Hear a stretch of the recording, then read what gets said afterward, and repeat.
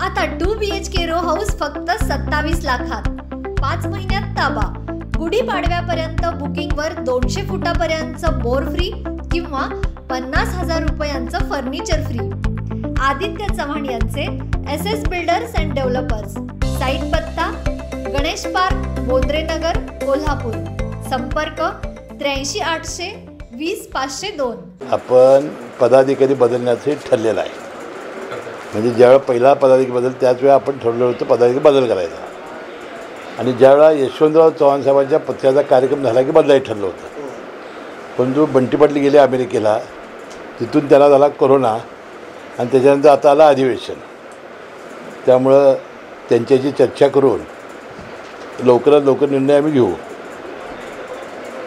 ते कागदला सगळ्या अध्यक्षपदी यावं असं यायला पाहिजे. यायलाच पाहिजे. नाही तो बघू आपण नंतर कारण आधी बदलायचं ते पंधराव्या वित्त आयोगात निधी आत्ता झालेला आहे. त्याला अजून पाच वर्ष वेळ आहे. त्याला काय आज काय त्या पंधरा वित्त आयोगाची नाही. चौदाव्या वित्त आयोगाच्या अखर्च निधीला एकतीस मार्चपर्यंत आपण वेळ दिलेला आहे ग्रामपंचायतीला. कारण तो काय पंचायत समिती जिल्हा परिषद नव्हता. आता पंधरा वित्त आयोग हा दहा टक्के दहा टक्के दोघांना आहे. म्हणजे पंधराव्या वित्त आयोगाची काही आपल्याला चर्चा नाही. परंतु एफ एम एस प्रणाली जी आहे ती नसल्यामुळे त्यांना खर्च करता येत नव्हता. ती प्रणालीची कालच मी बैठक घेऊन तो सॉफ्टवेअर केंद्र सरकारनं जो डेव्हलप केलेला आहे तो या दोघांची डिजिटल सिग्नेचर होऊन तो होतो. त्यामुळे पैसे खर्च व्हायला काही अडचणी आहेत. त्यामुळे मी काल बैठक घेतलेली आहे. ती आता लवकर आपली अ, कार्यान्वित होईल. कारण केंद्र सरकारची ती अट आहे. हे जे झालेलं आहे बजेटचं भाषण किंवा बजेट हे सगळं एक एप्रिलपासूनचं भाषण आहे ते. त्यांनी चार कोटी रुपये एक कोटी रुपये वाढवला. त्यानंतर तीन लाखपर्यंतची जी ई निविदा होती त्याची म मर्यादा ही दहा लाख केली. त्यानंतर आपण तीन लाखपर्यंतच्या सगळ्या राज्यातल्या शेतकऱ्यांना कोल्हापूर पॅटर्न हा राज्यावर वापरला. आता आम्हाला जिल्हा मध्यवर्ती बँकेला आता वेगळा काहीतरी शेतकऱ्यांना रिबेट द्यावा लागेल. म्हणजे बाबा व्याज तरी आता सरकार देणार आहे. आता जो नियमित भरेल ते आता संचालक मंडळाच्या ठेवू आपण. खावटीला व्याज कमी कमी केला. व्याज कमी केला आपण एक तारखेपासून आपण व्याज कमी सगळ्या शेतीवरची व्याज कमी करतो आहे जो युनिफाईड बायलॉज नगरविकास विभागानं केले त्यामुळं आता तीन हजार दोनशे ग्रामीण भागातल्या बांधकामांना परवानगीची गरज नाही.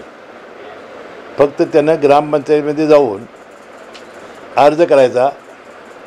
तीन हजार दोनशे स्क्वेअर फुटामध्ये काय बांधणार आहे त्याचा प्लॅन आणि नकाशा द्यायचा. आणि त्याचं शुल्क किती भरावं एवढं आमचा जी आर एक राहिलेला आहे.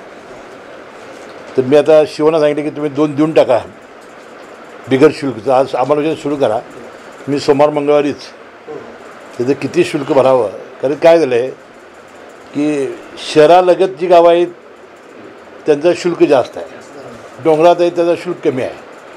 त्याला काहीतरी एक धोरण ठरवून त्या ग्रामपंचायतीसुद्धा मदत झाली पाहिजे ना. त्यांना शेवटी रस्ते पाणी वीज त्यांनी द्यायची ती. सगळ्या अधिकाऱ्याची कमिटी आहे ती जिल्हा परिषद काही संबंध नाही ना अर्थात त्यामध्ये नाही तो आता त्या तो तो आता कली जिल्हाधिकारी तुम्ही विचारा ना. आता तो वास्तविक मंत्री म्हणून मी त्याची सगळी माहिती घेतलेली आहे. आम्ही काही नैतिकता म्हणजे न- आपण काही ढकलून चालणार नाही. आम्हाला आम्ही सुद्धा उत्तरदायित्व आहेत ना त्याचे. तर हा पैसा आपण डिप्युटेशनचा दिला आहे चाळीस पन्नास टक्के. जनतेचा पैसा आहे हो. एस डी आर एफमधनं दिला आहे आणि ऑडिटरनी काय मुद्दे काढलेत मी काय बघितलेले नाही. जिल्हा परिषद पदाधिकारी सदस्य यांचा काय संबंध नाही. ह्याचा काय संबंध नाही. ही कमिटी त्याचे काय संबंध नाही याला बिचारे काय माहिती याला? जिल्हाधिकारी नाही कमिटी अध्यक्ष ना. त्या लेखापरीक्षेच्या अहवालात कलेक्टरांच्यावरच ताशेर होते. त्यांनी न बघता न पाहता आणि ते मुळात हे अधिकाराची विभागणी केली नाही हां. सरसकट अमोल मित्तलांच्याकडे दिली जावं आता असं प्रत्येक बाकीच्या जिल्ह्यात काय झालं की ती जिल्हाधिकाऱ्यांची चूक होती. जिल्हाधिकाऱ्यांना मी सांगितलं होतं. नेमकं काय काय झालं तर मी बघून घेतो. आजच आमचे लाईव्ह मराठीचे यूट्यूब चॅनेल सबस्क्राईब करा आणि नोटिफिकेशनसाठी बेल आयकॉनवर क्लिक करा.